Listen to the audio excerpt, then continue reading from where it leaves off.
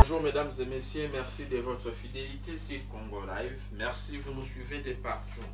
Nous sommes jeudi 30 novembre 2023. Mesdames et messieurs, bonjour, espoir, salut et bienvenue. Bonjour euh, messieurs les journalistes, bonjour à nos téléspectateurs, bonjour à tous ceux-là qui se battent pour que la RDC puisse recouvrir sa souveraineté nationale internationale. Quelles sont les nouvelles? Euh, les nouvelles, d'abord, je vais dire, sont bonnes. Comme vous le savez, dans les massifs du côté Nyamitaba, ces petits Rwandais ont été euh, corrigés hier et Nyamitaba est repassé encore sous contrôle de nos jeunes d'autodéfense Wazalendo. Euh, la ville de Goma, c'est tellement calme. euh, comme vous le savez, nous savons que nous sommes euh, infiltrés par les petits Rwandais, mais qui n'ont pas euh, jusque-là la possibilité d'oser même tirer une seule cartouche dans la ville de Goma. Si, si on peut partir dans les Niragongo, euh, la situation est relativement calme, sauf du côté euh, Kibumba où hier ces petits Rwandais ont été encore aperçus en train de traverser. Euh, à comme vous le savez, c'est encore sous occupation de ces petits Rwandais, mais la situation n'est pas calme puisque nos jeunes d'autodéfense, ils sont toujours en pleine préparation. Et donc certains hier étaient sur terrain uniquement que dans le but de reconnaître euh, comment euh, sont installés euh, les positions de ces petits Rwandais et la reconnaissance a été faite hier. C'est qu'on attend peut-être dans les heures qui suivent, on peut euh, sentir ou bien avoir d'autres nouvelles.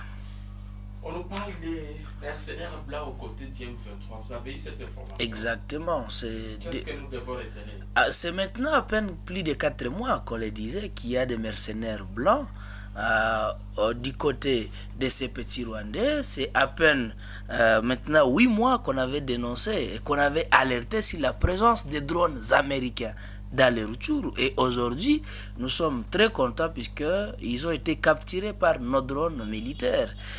C'est déjà...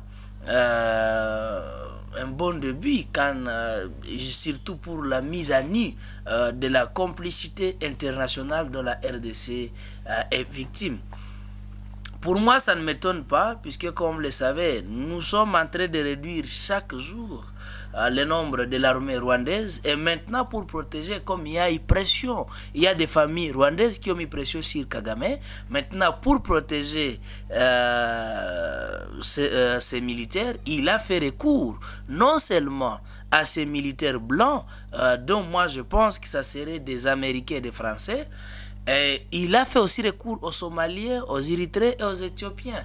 C'est qu'il a fait euh, recours à beaucoup euh, de pays en Afrique et aussi en Europe, uniquement que dans le but d'essayer de protéger les peu de ces militaires qui lui restent.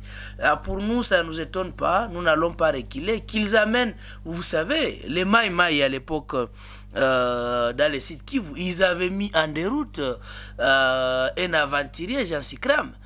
Alors c'est que c'est pas euh, ces petits mercenaires qui vont euh, qui vont nous faire peur. Nos jeunes d'autodéfense Wazalendo avaient mis en déroute l'avancée euh, des occupants blancs. C'est pas ces petits qui vont nous faire peur. Qu'ils amènent, qu'ils amènent même à l'air plus meilleur sniper au monde, ils vont s'arrêter contre la loi de la nature. Mais ces militaires sont venus d'où Ces Bazungu là. Moi, je pense que ces Bazungu seraient euh, des Français et des Américains, comme vous le savez. Euh, les formateurs de l'armée euh, de la- de l'armée rwandaise, ce sont les Américains. Leurs instructeurs, ce sont des Français. Et je pense qu'ils ont décidé une fois pour toutes de venir aussi sur terrain afin de voir, puisqu'ils ne comprennent pas comment est-ce que la population civile, c'est que les jeunes d'autodéfense qui ont pris les armes la fois dernière, ils peuvent mettre en déroute toute une armée formée par les Français et les Américains. C'est pourquoi, à l'ère euh, Mwalimou, ils ont décidé de venir eux-mêmes sur terrain. Mais ils ont quand même senti quelle est euh, la communion entre la terre congolaise et sa propre population. Ils sont aussi en train de fuir, ils sont en débandade. À l'heure où je vous dis, ces gens, ils ne, ils ne parviennent même plus à se reposer dans les massifs. Et pensez que comme nos élèves, notamment l'armée rwandaise, ils sont mis en déroute par les jeunes d'autodéfense Wazalendo et vont venir avec une nouvelle stratégie. En arrivant sur le terrain, ils ont senti que ces gens ne communiquent non seulement pas euh, par euh, leur environnement, mais aussi ils ont le soutien de la population. Et c'est comme ça, quand ils passent, on nous signale. Ils essaient de tuer partout là où ils passent, mais quand même, c'est là qui reste, signale toujours les jeunes d'autodéfense. Voilà, ces Rwandais et leurs mercenaires passent ici et la population réagit. Ça sera chaud maintenant pour la RDC parce que les, déjà les, les Blancs sont engagés là, les mercenaires, euh, euh, ils sont venus de se passer. Ceci, ça doit être pour les Occidentaux, c'est pour l'Occident en fait. Donc, ça sera chaud pour la RDC alors. Non, ça ne sera pas chaud. Je vous ai donné l'histoire. Les jeunes d'autodéfense, Ouazalendo, les Maï Maï à l'époque, ils avaient mis en déroute Jean Sikram. Or, Jean Sikram, vous savez, il était soutenu par la France, les États-Unis, l'Allemagne, l'Angleterre, dans le but de faire tomber Bukavu et que Bukavu puisse être réoccupé par les Blancs. Mais les jeunes d'autodéfense, à l'époque, qui s'appelaient les Moudundu 40, les Maï Maï 42, ils avaient tout fait pour mettre en déroute euh, ces petits Blancs. Alors, ce sont, euh, en fait, ces Maï de l'époque, ce sont nos ancêtres. Et c'est ce qu'ils avaient fait. C'est ce que nous faisons aujourd'hui. C'est que même s'ils amenaient l'armée américaine en général, ils vont ressentir la même chose qu'ils avaient ressenti à l'époque de ces aventuriers Jean Sekram, ils vont ressentir ce qu'ils ont senti en Vietnam. Voyez-vous. C'est qu'aujourd'hui, personne ne peut encore nous faire peur. Nous sommes éveillés et nous allons utiliser tout ce qu'il nous faut pour que nous puissions mettre en déroute l'ennemi. Nous sommes l'armée de Dieu et Dieu va continuer à nous bénir. Sans vous battre. Nous nous battons. Si on ne se battait pas, ces foutrons devraient déjà prendre des coins et les recoins. Mais comme on se bat et Dieu vient, euh, nous vient en aide, nous faisons ce qu'il faut faire pour mettre l'ennemi à l'extérieur. L'ennemi semble. L'ennemi ne prendra jamais les décisions sur le Congo, sur tous les plans. Ah, en fait, c'est que les gens ne parviennent pas à comprendre? Jusqu'à maintenant, nous sommes en, guerre contre euh, la France, nous sommes en guerre contre les États-Unis, nous sommes en guerre contre l'espace Schengen, c'est que l'Union européenne en général. Et nous les mettons en déroute du jour au jour. En dépit des millions et des milliards de dollars qu'ils ont déjà versés au Rwanda, et ils pensaient que dans laps de temps, comme on avait récupéré Goma en 2013, comme on avait récupéré euh, presque la quasi-totalité de l'Est euh, de la RDC avec RCD, c'est comme ça que nous allons progresser. Aujourd'hui, ils sont confus, ils ne savent pas. Euh, Des millions qui sont en train de jeter dans cette guerre, ce sont des millions euh, qui partent inutilement comme ça. Là. Ils, ne, parviendront même pas à avancer comme il- il fallait, comme ils pensaient qu'ils vont avancer. C'est nous qui avions les décis. Nous n'avons pas de soutien extérieur, nous n'avions pas des millions de dollars que eux, ils versent au compte du gouvernement rwandais, mais notre détermination et notre juste vérité. Nous défendons notre terre, nous défendons chez nous, nous protégeons nos mamans, nous protégeons nos biens, nous protégeons notre héritage commun que Dieu nous avait légué, que nos ancêtres nous avaient légué, que Jésus-Christ, à travers Kimbangu, nous avait légué. On n'acceptera pas qu'un étranger puisse avoir une mainmise sur notre sol. Ça, ils ne le verront jamais qui se cotisent, qui se mettent tous ensemble, mais oh, avant qu'ils, euh, euh, pour qu'ils puissent avoir une mainmise sur le Congo, que ce soit sur le plan politique, diplomatique, militaire, ils doivent marcher sur les tout derniers citoyens congolais. Mais l'État avance, M. Moïnoka. On, on connaît l'État avance et si la notion de la gestion du temps, aujourd'hui les Congolais ne sont plus moindres. C'est que nous sommes éveillés et même si l'État avance, je ne sais pas n'importe comment, c'est nous qui avions euh, vraiment l'aiguille de la montre. Nous savons comment gérer ça. Pendant ce temps, les gens comme ça, Exact. C'est- tout à fait normal. Nous sommes en guerre. Nous, nous sommes en guerre et, et en plus, ce n'est pas une, une guerre conventionnelle. Nous sommes en guérilla. Et vous savez, c'est une guerre terroriste. Et cette guerre terroriste, les gens aient pensé qu'ils vont nous faire euh, peur et fuir nos villages. Mais quand même, nos compatriotes ont résisté. C'est pourquoi moi j'ai dit, nous payons les sacrifices euh, nous, payons de notre sang pour sauvegarder l'intégrité du territoire national. Euh, nous n'avons pas peur de la mort, puisque ces gens pensaient, comme ils ont tué euh, 300 à Kishiche, ils ont violé des petites filles, ils ont violé même les personnes de troisième âge, que nous allons fuir. Non, nous allons résister. Oui, nous savons que nous sommes en train de mourir, mais nous n'allons pas fuir puisqu'ils nous tuent. Nous allons résister et qu'ils ne vont pas nous exterminer. S'il y aura notre petit-fils qui va rester, ce petit-fils va combattre ces Rwandais. Vous, allez continuer à résister. Ce sera jusqu'à quand vous n'allez pas vous fatiguer. On ne peut pas se fatiguer tant qu'on connaît pourquoi on résiste. Mais l'ennemi lui multiplie et, et- et renforce toujours. Oui, qu'il renforce. On a vu un Ouazalendo, aujourd'hui on ne parle plus d'eux, c'est comme s'ils soient aussi fatigués. Qu'il renforce, nous renforce. Ces jeunes ne peuvent même pas être fatigués. Ces jeunes, ils se battent. Euh, c'est eux qui ont ré- récupéré hier Nyamitaba, ils ont récupéré euh, quatre autres villages, voyez-vous. C'est que ce sont des jeunes qui ils sont infatigables. Comment tu peux te fatiguer tant que ta maison est, est encore occupée? On a compris que faire beaucoup de guerres, euh, parler de nos jeunes chaque jour, chaque minute, euh, ça donne aussi l'occasion à l'ennemi. Nous avions accepté d'admettre une autre philosophie de faire la guerre.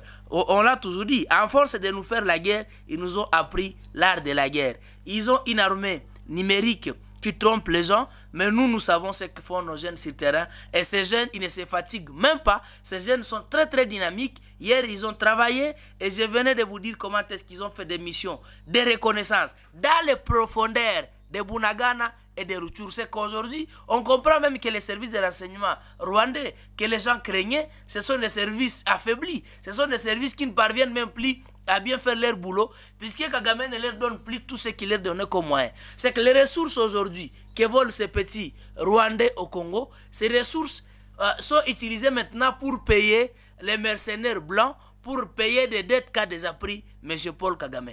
Ces jeunes vont les, euh, ils vont les balayer ici chez nous au Congo dans quelques temps. Ils ont déjà, hier, ils ont fait toute la journée, certains se battaient dans les Massissi et d'autres faisaient des missions de reconnaissance dans les profondeurs de Rutshuru. Ils sont arrivés même à Bunagan, à la frontière même de l'Ouganda. C'est que dans quelques temps, dans quelques jours, on peut chanter une nouvelle chanson. L'Union africaine et l'ONU prennent note des engagements, en tout cas pris par Tshisekedi et Kagame pour apaiser les tensions dans la région. Euh, ce sont des engagements d'ailleurs dont la population n'est même pas au courant, c'est que ce sont, ça peut être des accords obscurs dont la RDC risque d'être encore victime. Mais au stade actuel, j'ai confiance euh, que nous ne signerons plus des accords qui vont nous faire endeuiller demain. Peut-être euh, ce sont les accords surtout à, à la surveillance de nos frontières. Euh, puisque j'ai entendu que l'ONU aura euh, un œil regardant sur la frontière qui traverse, qui ne traverse pas. Ah, pour nous, tout ce que peuvent dire les gens sur euh, la surveillance de nos frontières, ça ça nous intimide plus, puisque nous sommes aujourd'hui à mesure de surveiller notre frontière, même à partir d'ici là où nous sommes. On peut surveiller qui passe, qui traverse notre frontière, qui est-il, avec des reconnaissances faciales, quoique nous n'avons pas à leur euh, donner, mais quand même nous essayons de reconnaître les militaires et les civils. C'est possible. Donc il y a eu des accords qui ont été signés. Euh, moi, je ne les confirme pas. Je ne les confirme pas. L'Union africaine et, et- et l'ONU prennent acte de ces accords. C'est tout à fait normal. Il y avait même des accords entre la Russie et l'Ukraine pour euh, euh, le transport du blé. C'est tout à fait normal. On peut avoir aussi ces accords dans le cadre euh, de surveiller la frontière, puisque quand nous disons que les Rwandais traversent, ils s'opposent qu'ils ne traversent pas. Maintenant, comme nous, nous avons des preuves, peut-être que l'ONU aussi cherche à avoir des preuves tangibles. Euh, comme les Rwandais contestent ce que nous avons comme preuve, et chose que nous comprenons que c'est normal, peut-être ça peut être dans ce sens. Mais dire qu'il y a des accords autres que, qui peuvent aller dans ce sens, euh, je crois il n'y en aura pas et il n'y en a pas. Je voudrais rappeler à tous que notre pays est encore confronté à une guerre d'agression. Si des candidats hommes ou femmes souhaitent intégrer l'armée ou la police, je les encourage vivement à le faire.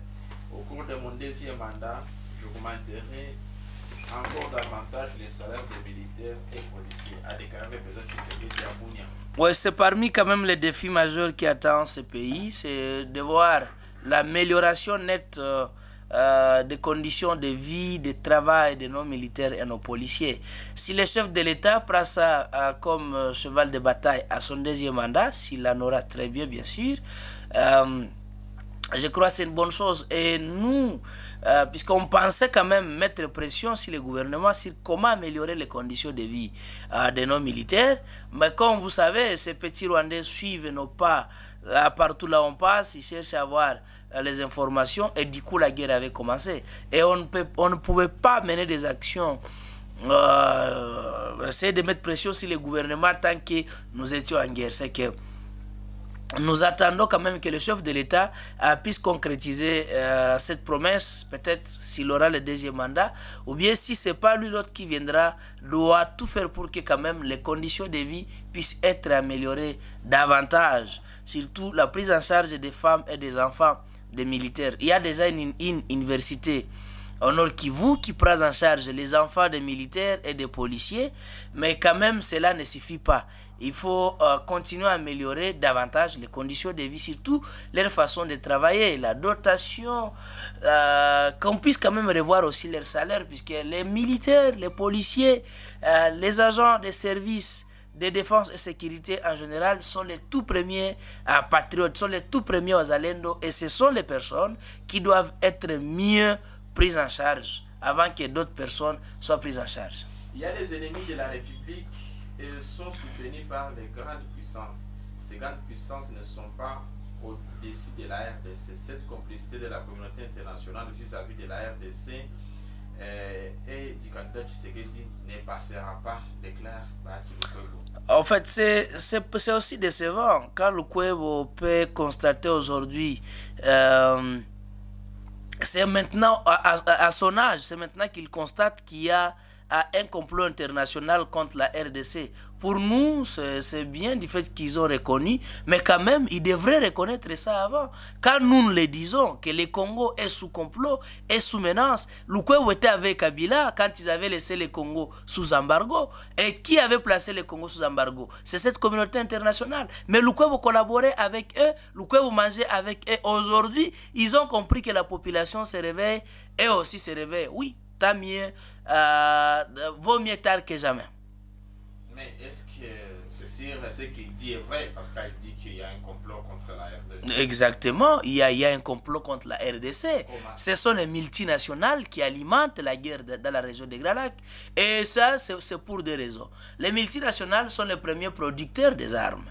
Et ils, vont, ils vont produire, il faut que leurs armes soient achetées. Les armes ne sont pas à, produits pour imposer la paix, sont produits uniquement que pour les fins de la guerre. Euh, dans le sens où il y a la guerre, les producteurs de médicaments euh, ils sont sollicités puisqu'ils produisent les médicaments. Les producteurs des armes et leurs accessoires, donc munitions, sont sollicités, voyez-vous. Et eux, ils ont compris.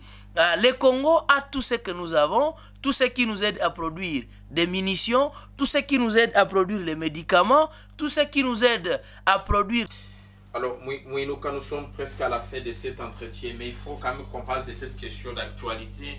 On a lu hier soir les communiqués qui a été rendu public par le gouvernement de Kinshasa, lié en tout cas au- à l'annulation, alors au refus des observateurs euh, de l'Union européenne d'observer, s'il faut dire comme ça, les élections ou les scrutins de décembre 2023. Kinshasa dit prendre acte de la décision de l'Union européenne. Ouais, c'est une bonne chose. Je félicite quand même le courage euh, de Kinshasa. Je félicite le courage aussi de la CENI. Surtout l'expertise qu'a imposé la CENI euh, avec le nouveau commandant de la CENI, notamment euh, le pasteur Kadima. En fait, l'Union européenne, européenne, ils avaient un plan de déstabiliser la République démocratique du Congo. Et beaucoup de gens vont se demander comment. Imaginez la CENI a plus de 70 000 bureaux de vote. Et plus de 70 000, de, euh, 70 000 bureaux de vote, vous nous amenez 40 observateurs. C'est impossible d'abord découvrir ces 76 000 bureaux de vote.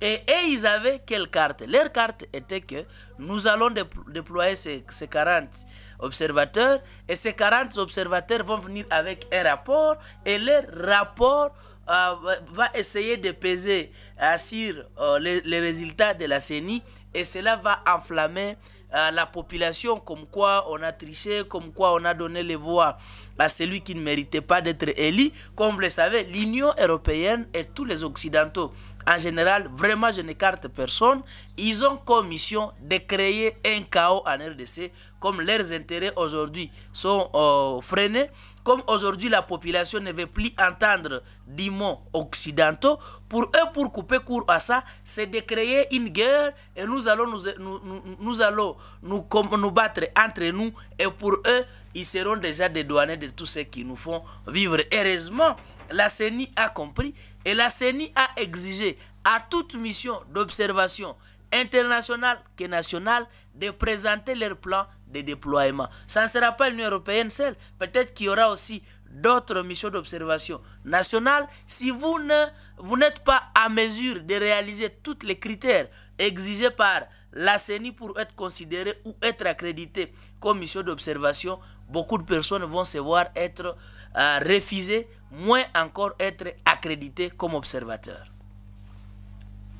Mais quel genre d'élection ça l'Union européenne? Non, l'Union européenne ils ne sont pas des donneurs de leçons. L'Union européenne, c'est une mission d'observation comme OSPC, c'est une mission d'observation d'ailleurs dont je fais partie.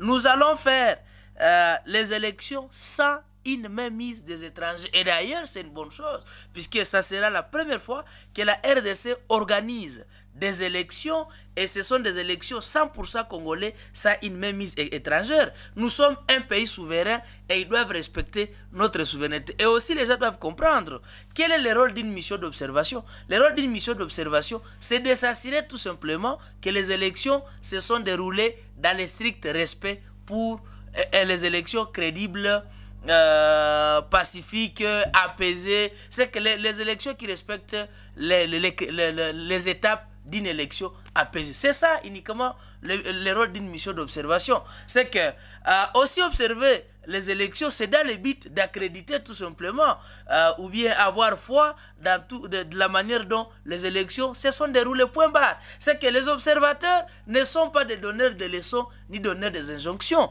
Ils, sont, ils devraient être là uniquement que pour observer comment est-ce que les choses vont se passer. Mais attention, les observateurs peuvent mettre les feux sur la République ou bien sauver la République.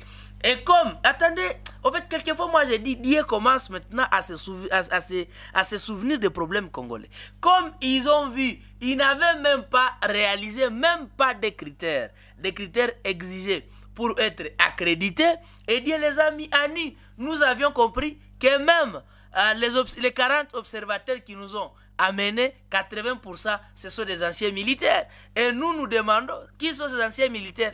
Est-ce que cela, ces militaires nous amenés ne fait pas partie de ces mercenaires que nous voyons aujourd'hui du côté euh, des 1-23 Dieu les a mis à nu avant le temps? C'est pourquoi j'appelle la population à la vigilance. Nous devons veiller nous-mêmes sur ce processus électoral. Nous devons être éveillés, contrôler ton voisin. Est-ce que ton voisin ne figure pas sur la liste des personnes qui tentent de stabiliser le Congo après les élections Nous sommes à une période où nous allons réécrire l'histoire de la République démocratique du Congo. C'est que si on, on ne se réveille pas, on risque de mettre notre pays en poudre. Or, nous sommes obligés aujourd'hui de reconstruire notre République détruite par les étrangers. De. Nous sommes sur le plus de 143 9 92 66 42 08. Bye bye.